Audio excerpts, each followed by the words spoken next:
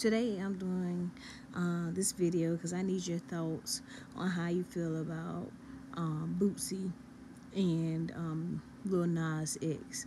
Now we all know that Lil Nas X at the um, BET Awards, he actually kissed a man. We know that he's a homosexual or whatever. He he likes men, and um, Boosie made a statement about Lil Nas X.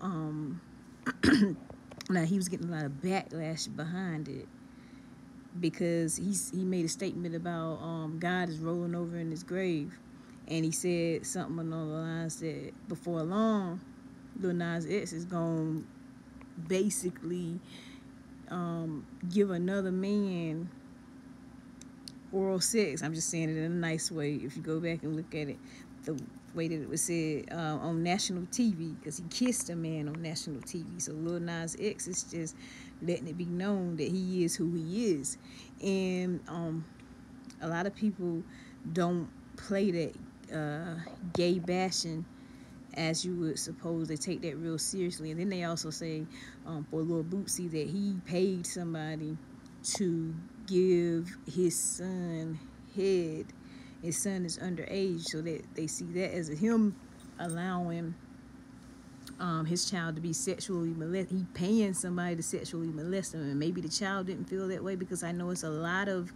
uh, it's a lot of males that say i'm gonna pay for you know their teenage son to sleep with someone they call it breaking them in breaking them in. But um so everybody has different beliefs and everything. But I just wanted your thoughts on it, how you felt about Lil Boosie, um, and and the statement he made towards Lil Nas. I feel like he shouldn't have said anything about God rolling over in his grave because God is not dead. He is alive and well. Number one. Uh, so you don't play with God like that. But number two, there's a way you come at everything. And even though Lil Nas has made a decision to be that way, he doesn't deserve to um, be bashed in that manner. You know, he deserves to be told and loved. I'm pretty sure somebody has told him, hey, we all know that homosexuality is a sin. It's in the Bible, and we'll talk. We'll talk about that more. Um, a man is made to be with a woman. We know that, but at the same time, you don't go around bashing folks, and um, especially using God's name in vain, saying that God's rolling over his grave because God is alive. You know what I'm saying? So, um, Lil Nas X, he is teaching our youth to, he has a good side to him because he's teaching them to be you, be yourself. Don't try to be anybody else.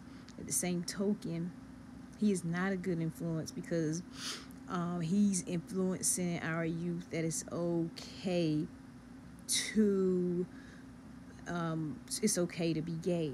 And in all actuality, it's not. And if I would speak on it just really quickly, I have a son that believes that he he he wants to wear wigs.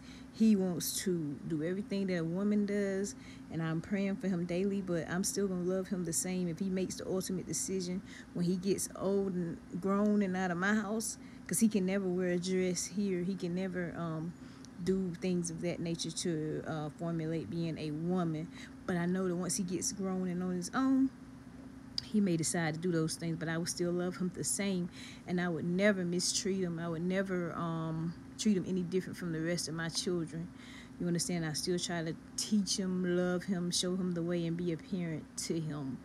Um, that's what we do, even for people that decide to um, be with somebody of the same sex.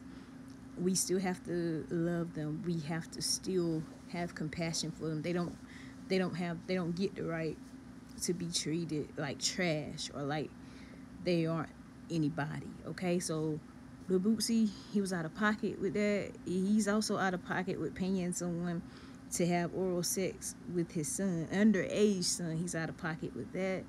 Um, we just need to watch what we say and what we do. Um, it's a way you do everything. It's a way you tell people things, you know.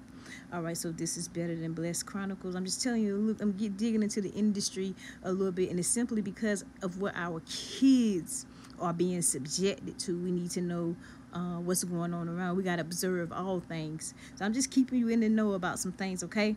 let me know, comment on how you feel about Lil Boosie, how you feel about Lil Nas X, um, the statements that Boosie made about Lil Nas X and things of that nature, okay? And also Lil Nas X at the BET Awards. I was shocked. I said, oh my goodness.